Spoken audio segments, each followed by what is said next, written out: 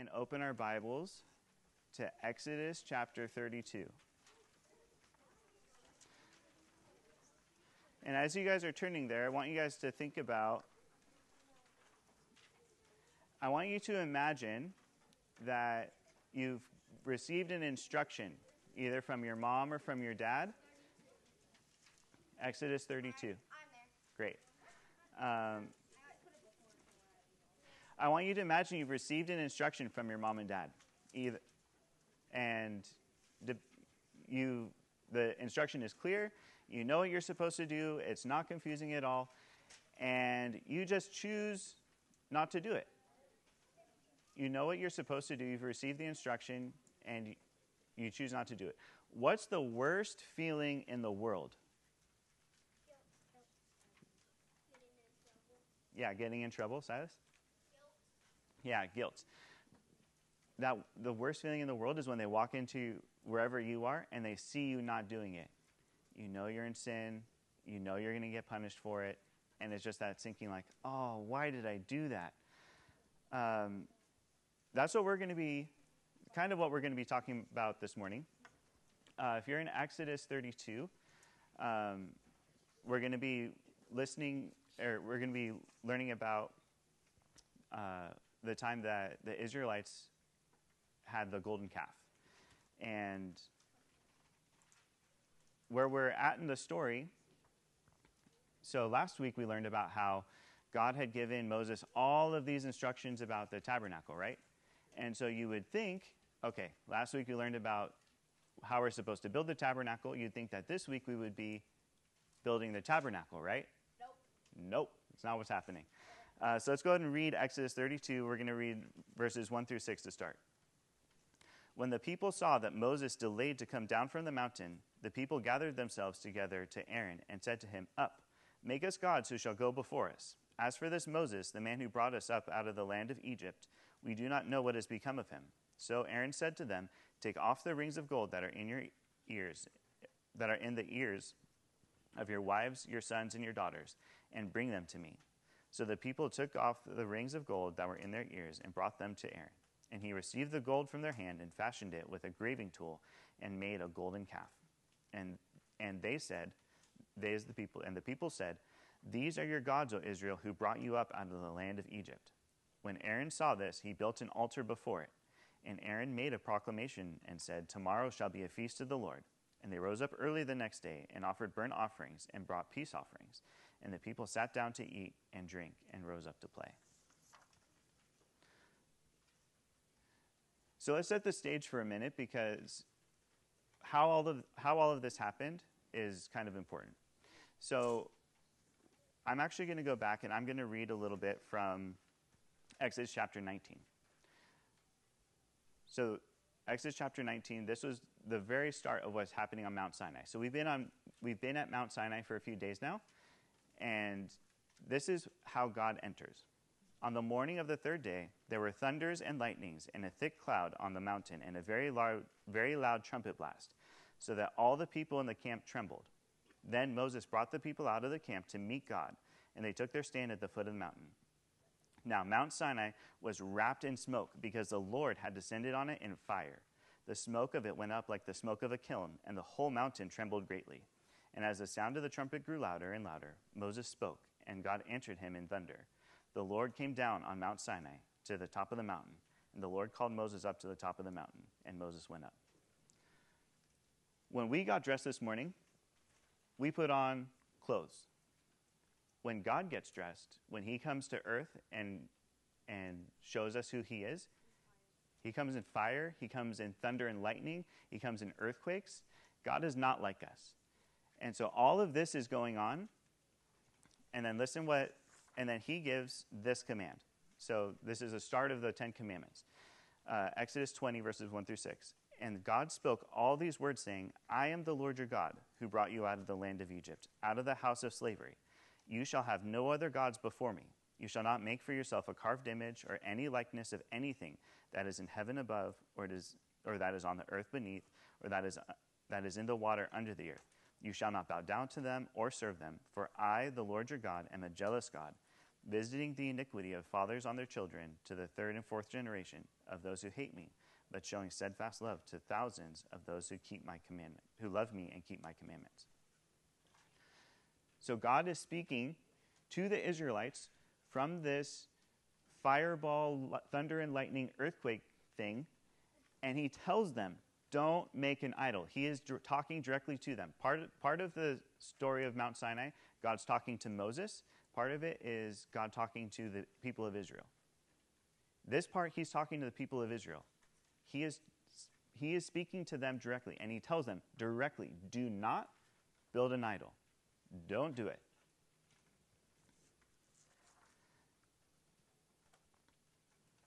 And the people understood and were terrified. In fact, Exodus 20 goes on to say Now, when the people saw the thunder and the flashes of lightning, and the sound of the trumpet and the mountain smoking, the people were afraid and trembled. And they stood far off and said to Moses, You speak to us, and we will listen. But do not let God speak to us, lest we die. They were so afraid of God in that moment that they didn't even want to hear from God. They didn't want God to speak to them directly. They were so afraid of him. Moses said to the people, Do not fear, for God has come to test you, that the fear of him may be before you, that you may not sin. The whole reason that God showed himself like this on Mount Sinai is to help the people to, to appear before them so that they wouldn't sin. And what did they do? At like the first opportunity, they sinned. They did, like, they didn't even make it to the bottom of the Ten Commandments. They, they failed at number two.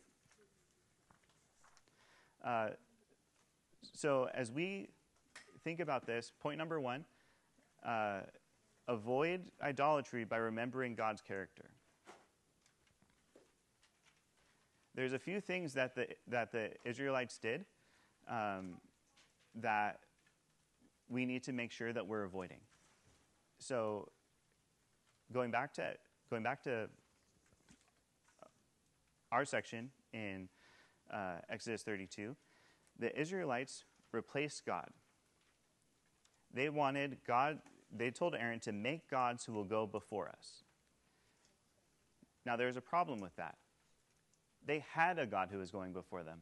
Remember the whole like pillar of cloud by day, pillar of fire by night, and it was in front of them and leading them and showing them where to go? They already had a God who is who is going before them. And then they attributed what God had done to Moses. They said, As for this Moses who brought us up out of the land of Egypt, uh, did Moses do all of those miracles? Did Moses create the plagues? Did Moses part the Red Sea? No. no. Who did? God. God used Moses. Moses was the vehicle, Moses was the prophet that he used, but it wasn't Moses. And then they showed what they really wanted. They wanted to have a God who would give them what they wanted. They, they wanted to have a feast and celebrate and have basically a giant party. And so that's what Aaron gave them. Aaron proclaims that the next day will be a feast to the Lord. And that's really what the Israelites wanted. They, just, they didn't want a God who gave them 10 commandments that they had to obey. They wanted a God who is going to give them food and water and make their lives happy and peaceful. But the problem with that is that's not who God is.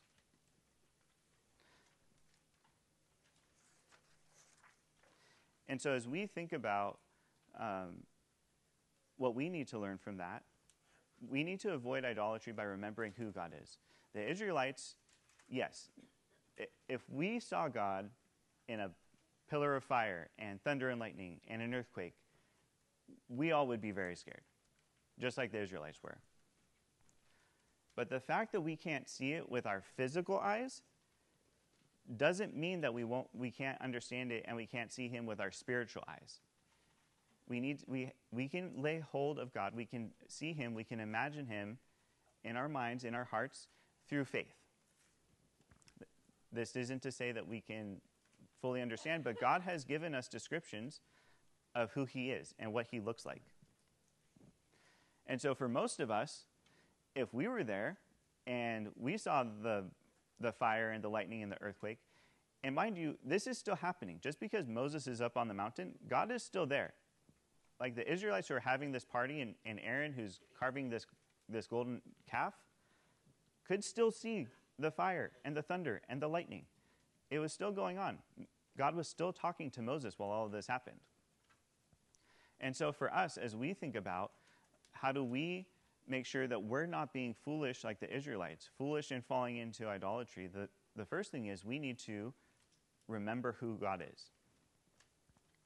Uh, by remembering who God is and what He's done, is the only way to make sure that we're not falling, falling into worship of a false God.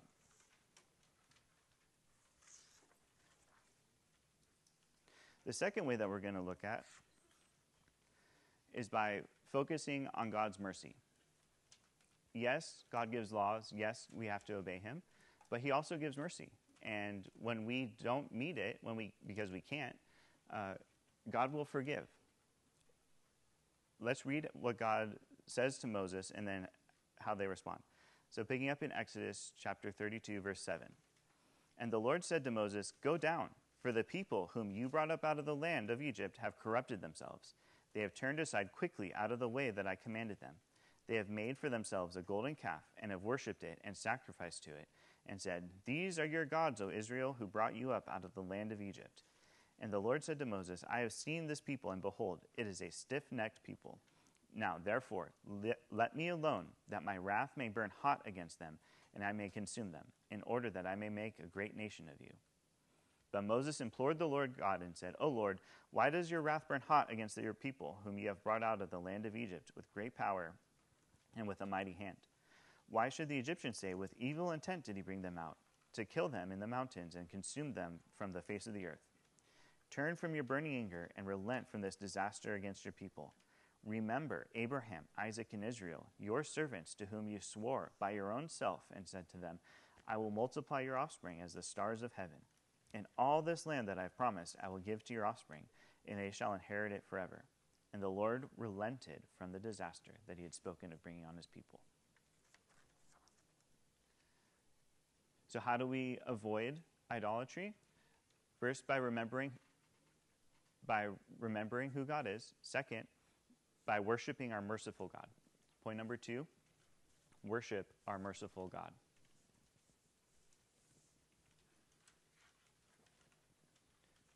A few things that we need to pay attention to.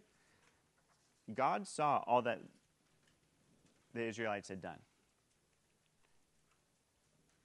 In the, in the story and the image that we were talking about to open our time, where we were talking about how God, or how if your parents give you uh, an instruction and you don't obey it, you have the opportunity to your parents can't see you. And so as long as you do it eventually, you can get it done. But it's not that way with God. God sees you all the time. He knows when you don't when you don't obey, and he can even see into your heart, which is a scary thing because a lot of times it's easier for us to say yes mom or yes dad and obey than it is to have a heart that wants to please and, and submit to God. But listen to what listen to what God says when he sees their sin. He said, I have seen this people, and behold, it is a stiff necked people. Now therefore let me alone, that my wrath may burn hot against them, and I may consume them. We all know growing up in church and coming to church that God will punish sin. I think sometimes we forget just how seriously God takes our sin, though. And for many of us in this room who haven't yet repented from our sin and haven't yet submitted to Jesus and submitted to the Father, we're still under that wrath. What God was saying about, let me alone that I might destroy them, that I might wipe them from the face of the earth, that's some of you guys in this room. Some of you in this room are in a position where if God were to come back today, you would be someone who received his wrath and not his mercy. Now, fortunately for the Israelites, they had Moses, and Moses went and he asked God to relent, not to do, not to, not to bear their wrath, not to be angry with them. And God relents. But notice what Moses does. He doesn't say, he's not asking for forgiveness so that they don't have a consequence or so that their lives aren't uncomfortable. He's pointing them, he's pointing God back to himself. He points to God, he appeals to God's glory, that he, that he would be known among the nations, that, that the Egyptians would see and say, What God is this? Why did he do this? And he appeals to God's faithfulness. He appeals to the promises that he made to Abraham, Isaac, and Jacob. Moses is more concerned about God's glory than he is about any whatever the consequences are for the people. And that's a lesson for us. A lot of times we think about our obedience as a way for us to avoid a consequence, and we don't think about the fact that our lives, especially as believers, are a reflection of who God is and what He has done for us on the cross. Now, we don't have Moses. But who do we have interceding for us as believers? Yeah, Silas. Jesus? Yeah, we have Jesus. We have a better intercessor than Moses. That's not to say Moses was a bad intercessor. Obviously, God listened to him and God relented of his wrath. But as we think about um, our intercessor, let me read a few verses from Hebrews. He said, The former priests were many in number because they were prevented by death from continuing in office. But he, Jesus, holds his priesthood permanently because he continues forever. Consequently, he is able to save to the uttermost those who draw near to God through him, since he always lives to make intercession for them. Moses died, and he wasn't there to intercede for the people anymore. Jesus died, but rose again, and now he lives forever if we have Jesus as our intercessor, if we repent of our sin and turn to faith in him, he is always there for us to make to to intercede for us before the Father. Continuing from Hebrews 7, for it was indeed fitting that we should have such a high priest, holy, innocent, unstained, separated from sinners, and exalted above the heavens. He has no need, like those high priests, to offer sacrifices daily for his own sins and for those of the people, since he did this once for all when he offered up himself. Later, we're going we're going to read about how Moses offered to do just that, to be to bear the punishment for Israel on their behalf, and God says no. The beauty of the gospel is because of Jesus' perfect life, the, God says yes to that request from, from Christ that through Christ we can have forgiveness, that He can take our punishment, and we have a better forgiveness through Him. As we, as we move on to our, our next point, we're going to see that God relented from the fierce wrath, from destroying them completely, but there were still consequences. So we're going to pick up reading Exodus 32, verses 15 to 24, or 15 to 35. Then Moses turned and went down from the mountain with the two tablets of the testimony in his hands, tablets that were written on both sides. On the front and on the back they were written. The tablets were the work of God, and the writing was the writing of God, engraved on the tablets. When Joshua heard the noise of the people uh, as they shouted, he said to Moses, There is a noise of war in the camp. But he said, Moses said, It is not the sound of shouting a victory or the sound of crying defeat but the sound of singing that I hear. And as soon as he came near the camp and saw the calf and the dancing, Moses' anger burned hot, and he threw the tablets out of his hands and broke them on the foot of the mountain. He took the calf that they had made and burned it with fire and ground it to powder and scattered it on the water and made the people of Israel drink it. And Moses said to Aaron, What did this people do to you that you have brought such a great sin upon them? And Aaron said, Let not the anger of my Lord burn hot. You know the people, that they are set on evil. For they said to me, Make us gods who shall go before us. As for this Moses, the man who brought us up out of the land of Egypt, we do not know what has become of him. So I said to them, Let any who has gold take it off. So they gave it to me, and I threw it into the fire, and out came this calf. Uh, quick side note Does anyone recognize I, I took the gold, I put in the fire, and out came this calf. Does that happen? No. No, it was a lie. It was a lie. Uh, was it a particularly good lie either? No. Yeah, not convincing at all. And when Moses saw that the people had broken loose, for Aaron had let them break loose to the derision of their enemies, then Moses stood in the gate of the camp and said, Who is on the Lord's side? Come to me. And all the sons of Levi gathered around him. And he said to them, Thus says the Lord God of Israel Put your sword on your side, each of you, and go to and fro from the gate through the camp, and each of you kill his brother and his companion and his neighbor. And the sons of Levi did according to the word of Moses. And that day, about 3,000 men of the people fell. And Moses said, Today you have been ordained for the service of the Lord, each one at the cost of his son and of his brother, so that he might bestow a blessing upon you this day. The next day Moses said to the people, You have sinned a great sin, and now I will go to the Lord. Perhaps I can make atonement for your sin. So Moses returned to the Lord and said, Alas, this people has sinned a great sin. They have made for themselves gods of gold. But now, if you will forgive them sin, if you will, forgive them sin. But if not, please blot me out of your book that you have written. But the Lord said to Moses, Whoever has sinned against me, I will blot out of my book. But now go, lead the people to the place of which I have spoken to you. Behold, my angel shall go before you. Nevertheless, in the day when I visit, I will call I will visit their sin upon them. Then the Lord sent a plague on the people because they made the calf, the one that Aaron had made.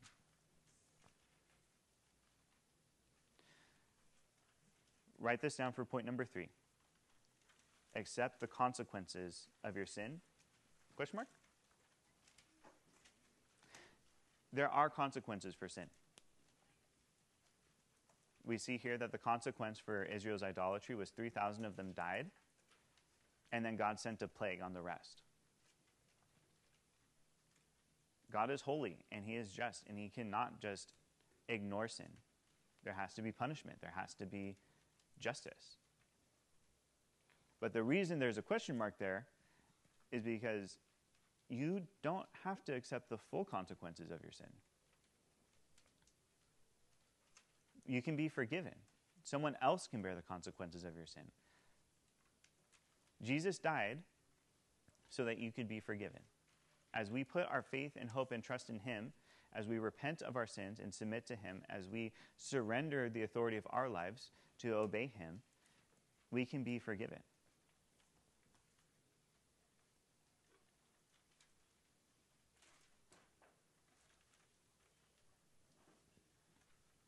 as we think about the picture that we had when we opened, what's the worst feeling in the world? When you've sinned, you know you sin, and the worst feeling is getting caught. But what's the best feeling after you get caught? It's when you don't get punished for it. It's when your parents show mercy and they forgive you, even when you don't deserve it you have the opportunity to have that relief, to have that weight lifted from you. You have the ability to be forgiven. God wants that for you. God wants that so much, He sent His own Son to die for you. And Christ suffered a horrible, brutal death so that you could have, have access to that forgiveness. It's my prayer this morning that you guys would all repent. Turn from your idolatry, trash your idols, and worship God. Let's pray. Heavenly Father, we thank you so much for your word. Lord, we learn that our hearts desire to worship things that aren't you. God, forgive us for those sins. But Lord, we also thank you that you have made a way of forgiveness. We pray, Lord, that you would allow these kids to see their need for a Savior, that they would repent and submit to you, God. We pray these things in Jesus' name.